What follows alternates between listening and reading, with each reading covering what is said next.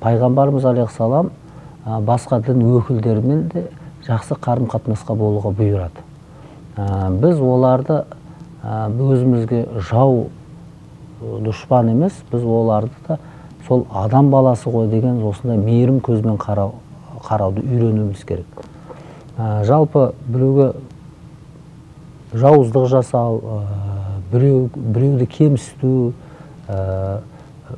біреуді алалау ол жақсы әдет емес. Бұл мұсылмандық мұсылмандыққа да жатпайды. Міне пайғамбарымыз саллаллаху алейхи уассалам мына құрбандық кезінде құрбандық етін өзінің отпарас отпарас көршісіне барып бөліскен жерлерін айтады хадистерде. Сонда ол ол отпарас қой ол мұсылман емес қой деп оны бөлмеген шырай жылы шыраймен барып сен де бір адамсың ғой. Енді міне құрбан еті деп сонымен бөліскен.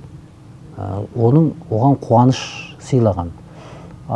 Енді пайғамбарымызға көп жауыздық жасаған көп пайғамбарымызды кемсіткен қорлаған адамдар болды. Бірақ бәрін қарғамады.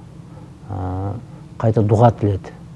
Алла тағала осы ауыл иелеріне тұрғындарына инсапу тауфиқ берсін деп тура жол көрсетсін деп қайта жақсы тілек дұғаларды айтты. Міне.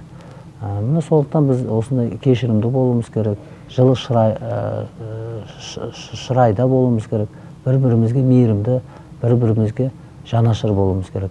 Ислам пайғамбарымыз алейхисалам міне осындай көркем мінезділікке шақырады.